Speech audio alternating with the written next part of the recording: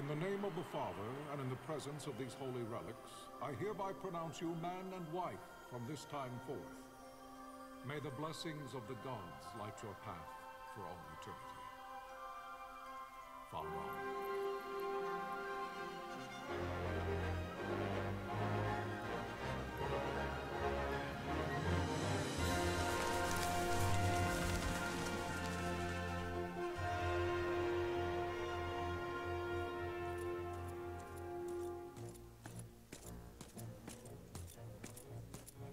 If, following this, Archadia should launch an attack by both land and air, our kingdom will stand little... Nabudis has fallen. Impossible! My father? I know not. I am sorry. If Nabudis has indeed fallen, it is only a matter of time before they reach the borders of Dalmasca. There is nothing to halt their advance. Secure Nalbina with all haste. I will go. And I will go at his side.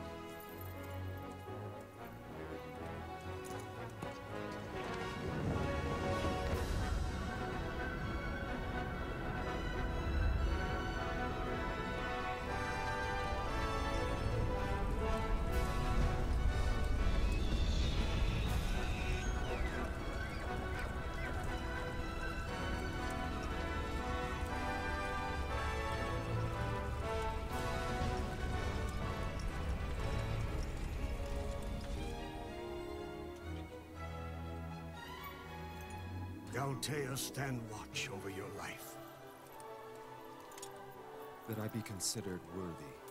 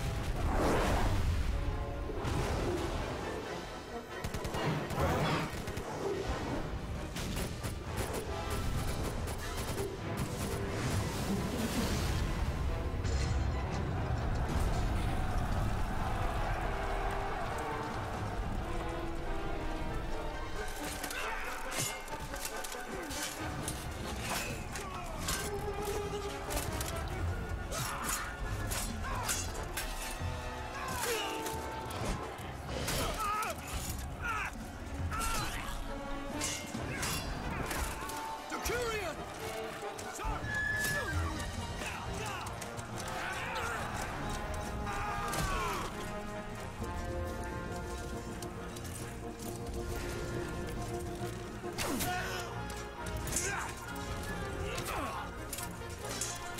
fortress is lost! We must withdraw!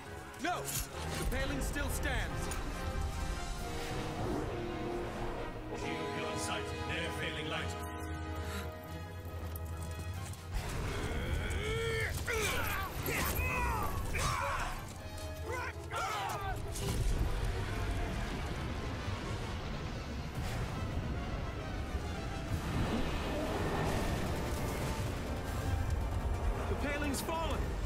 It's over!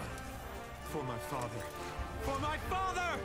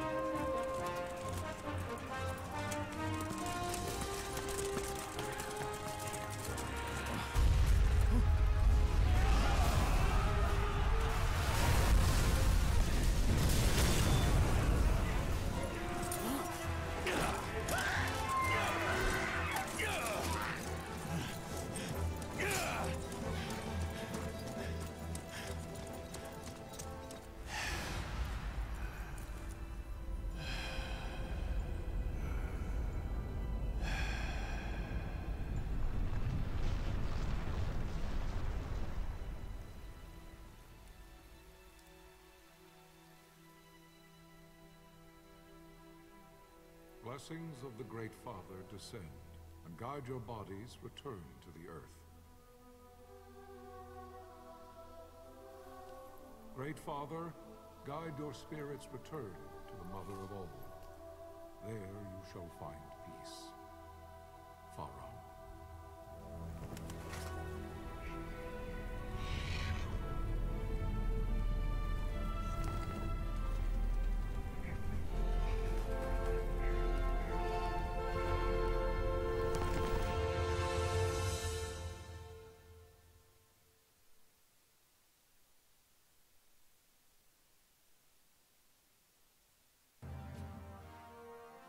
death of Lord Rasler Heios Nabradia was but one of many tragedies to befall the kingdom of Dalmasca. The air of hope that had surrounded Her Royal Highness Princess Ashe's wedding was now quite lost. Dalmasca had been set adrift at the mercy of history's restless tides.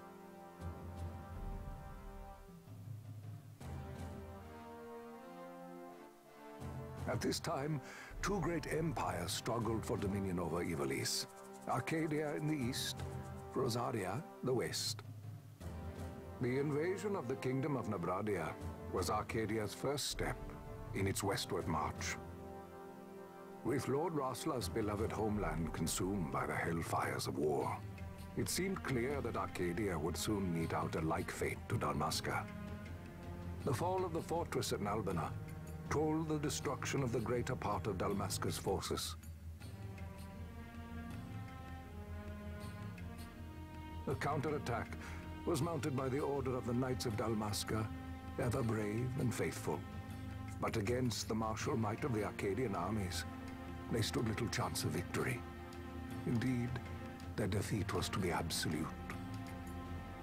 Soon thereafter, Archadia came forward, offering terms of peace, or, as one might rather put it, terms of Dalmasca's surrender. Lord Raminas, King of Dalmasca, and my dear friend, had no choice but to accept these terms.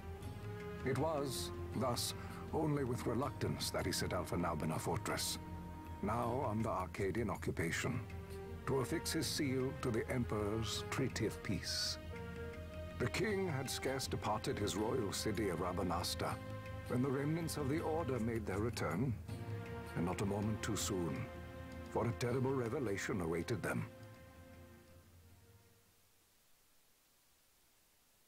The treaty would be signed with steel and writ in royal blood.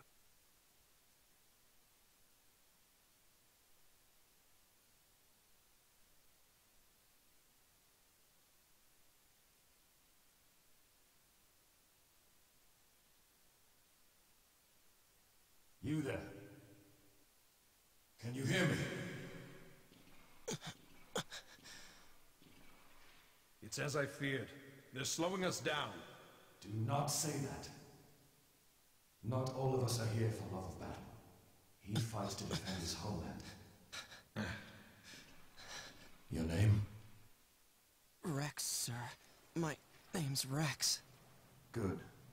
Reks. You bore a few cuts, but you are still whole. Well, can you stand?